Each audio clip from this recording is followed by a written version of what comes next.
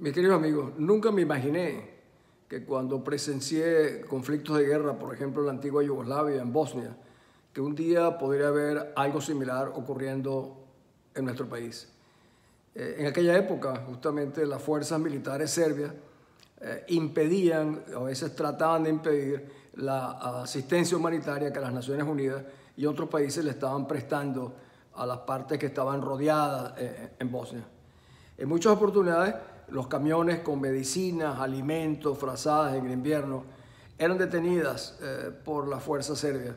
Yo les quiero decir algo, eh, esto fue una lucha permanente eh, para poder pasar la asistencia humanitaria. Era una asistencia humanitaria acompañada de efectivos militares y aún así era muy complejo y muy difícil hacérselo llegar a la población que sufría.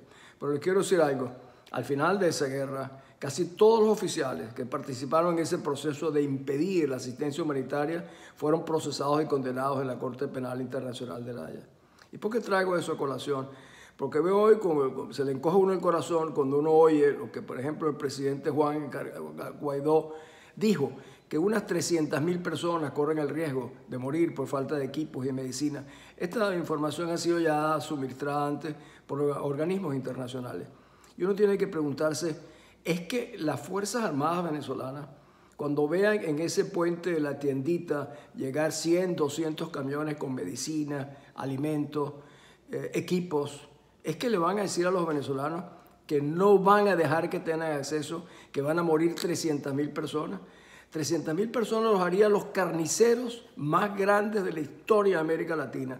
Yo le hablo fundamentalmente a los oficiales, soldados, clases de las Fuerzas Armadas con qué cara ustedes van a ver a sus hijos, a sus familiares.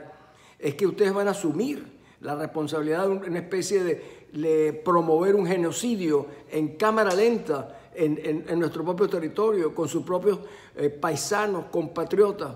Créanme, eh, yo que he visto esto en Somalia, en Ruanda, en Bosnia, ver que ustedes, los militares venezolanos, se presten a, apoyar a, a un narcotirano o al Chapo Cabello, que es el que más incita al odio y a la violencia, e impedir la asistencia humanitaria es realmente eh, condenable. Sus familiares son los primeros que no se lo van a perdonar.